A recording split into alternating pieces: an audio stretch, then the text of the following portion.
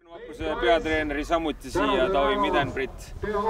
no eelmine kord äh, said äh, mitte väga traditsionaalselt selle võidu kätte, aga täna tundus, et äh, jõuvarusid väga palju vist ei olnud alles jäänud pärast eelmist, ütleme, troopilist ja väga rasket mängu. nõustud sa minuga? ei nõustu. ei nõustu, jõud oli? ma arvan, et jõudu oli, aga võiks vist öelda, et see oli üks äh, meie hooaja kõige kehvemaid mänge, et äh, ma arvan, et selline nagu enesekindlus või, või, või ütleme siis mänguline nagu see, mängus sees oleks, seda ei olnud täna üldse. et me mängisime, ma arvan, ühe väga kehva mängu, et see, see äh, esmaspäevane mäng nii-öelda, ma arvan, et ei, ei mõjutanud seda. ja, et jäite teisel minutil juba tegelikult kaotusseisu tundsid ise ka, et kuidagi meeskond unine natuke on esimesel poolajal või oli see ainult mulle kui kõrvaltvaatajana niisugune mulje?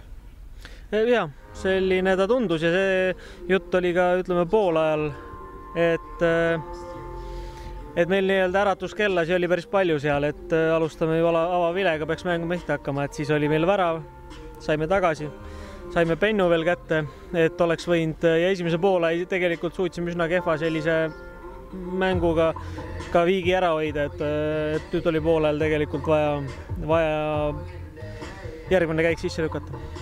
samas kaks-üks seisult oli Kristjan Saartsil siin ikkagi väga hea võimalus, kus ta noh, ei saanud palli lõpuks kätte, aga oli peaaegu noh, väravaiga silmitsi pääsemas, et kui sealt oleks ära tulnud, oleks võinud vist ka asjad teistmoodi olla. oleks. oleks vist võinud jah. lõpuks, mis sõnumiga praegu meeskonna juurde lähed? mis ütled riietusruumis? Ma arvan, et ma olen aus.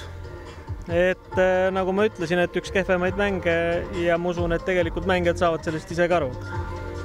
et, äh, et nad ju samamoodi tunnetasid, mis see olukord on ja, ja ma usun, et äh, me saame kõik aru, et siin on vaja lihtsalt juurde panna. okei okay., aitäh sulle.